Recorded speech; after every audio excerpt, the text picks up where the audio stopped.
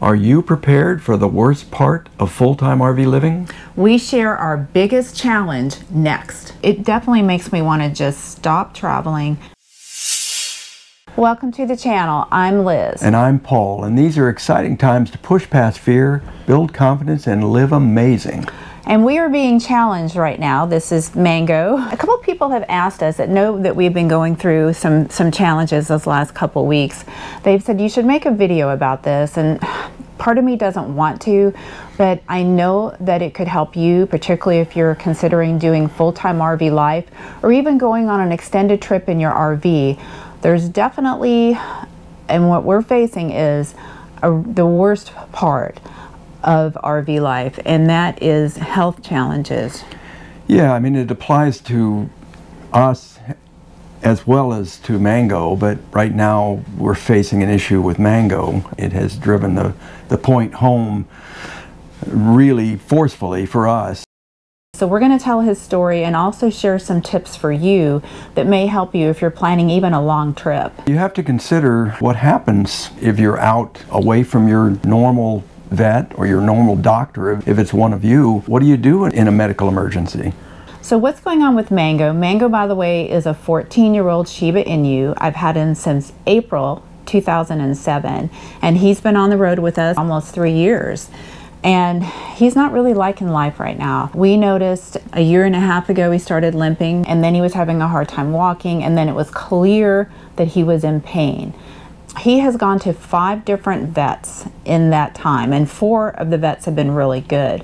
During the different vet visits, we learned that he has arthritis in his back. He'd been prescribed anti-inflammatories and pain pills, and then it came to a head, I guess, about 10 days ago. You want to talk about what happened 10 days ago? Well, yeah, I mean, he just got to the point where he couldn't stand up. I mean, at all. Even if I lifted him up um, to put him on his feet, um, he would go he would fall right back down again. And he was clearly in severe yeah. pain. Yeah and i mean he was snapping at us if you touched um, his hindquarters um, or even anywhere near him. If you are going to be on the road with your pet you should first of all, make sure that all the shots are up to date so you don't have to get the shots on the road, particularly rabies and bordetella ask your home vet to digitize all the files and send them to you in an email. That will make it so much easier when you're going to a new vet keep track of the records and what I was doing was after he went to a vet I was having those records sent back to my home vet so that at least they're all in one place or have them send them to you so that you at least have everything together. To that point I mean every time you see a new vet you're starting from zero. They don't have any history on him. The good part of that is that they do see Mango with fresh eyes so they may come from a different point of view which can really be helpful. Don't be isolated. If you're faced with a health challenge, either for you or for your pet, reach out. I reached out to friends and learned of some treatments that I had never even thought of. I learned that there's cold laser treatments. It's like a healing laser. It's mm -hmm. good for people too. Mm -hmm. And I also learned about chiropractic care, which I never would have thought. I'd never heard of such thing for dogs. And it worked wonders. So what happened on Tuesday night, I realized he was suffering so bad he needed to go to a vet. Well, I didn't know where the 24 hour emergency vets were because, of course, we're traveling. We, we don't know everything about the area. We were out in the country. The nearest big city was Terre Haute, and there were no 24 hour vets in the city at all. So the nearest 24 hour vet would have been Indianapolis, which was about 90 miles away. But the best advice we got here on Tuesday night when we realized we needed to see a vet, all the vets were closed, and of course we weren't patients, was our friend Karen. She said just call a vet, they'll have a nighttime phone number to call in emergencies. So we called and we found there was an emergency vet.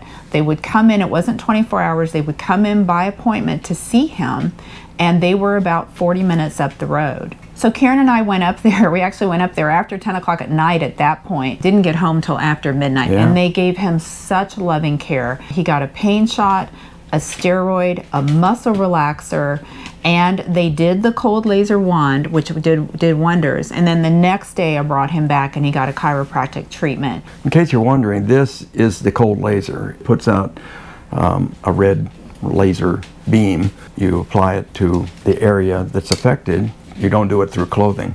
And you wear protective eyewear. Put him on. I think he looks really good with these on. The Terminator look. So, I'm going to turn away and you turn it on so they can see. so there's there's the light. If you're traveling with a pet, particularly an older pet, this is something to prepare yourself for. So, in addition to what's happening in your life as far as traveling and moving and all that, there's this. And it definitely makes me want to just stop traveling and just focus on his care. So, and this does apply to people too. So, what happens if one of you gets sick and you need continuing care? Do we just park it and and you know wait for that you know wait for the condition to to get better or get worse? Uh, you know.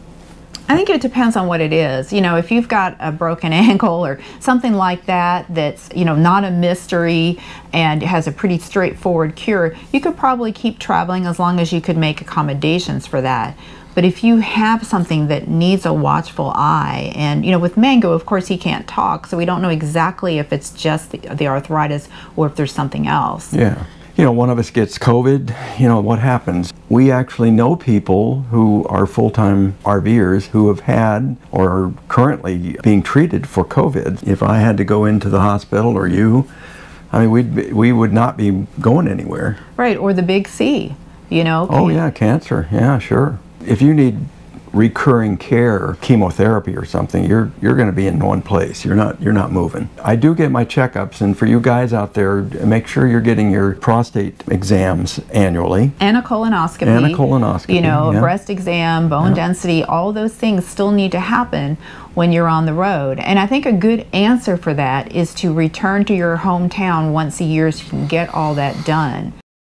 Do you have it in your budget to have an exit plan if you're not going to travel anymore? If if a health crisis occurs and you need to move into an apartment close to a hospital or that kind of thing, do you have it in your budget to stop traveling? Do you have it in your budget if you need to stay at a campground for a longer time versus traveling? And I'm Right. speaking to people like, you know, we're in Thousand Trails, and if we choose to, we can stay in the membership and not pay for campgrounds. But if we have to stay longer than three weeks, then we have to start paying. then we start paying if you're not in this lifestyle and you're considering it do you need a plan But don't let this keep you home either. Right, You know, if you're feeling fine and you don't have any health issues, by gosh, don't just sit around and go, well, you know, in case I have something, I should stay home. Yeah. Absolutely, you know, get out there. You don't know how long you'll be able to get out and enjoy this life, but if it calls you, do it. sorry for this downer video but you know we're just trying to keep it real out here We have never been accused of sugarcoating anything out here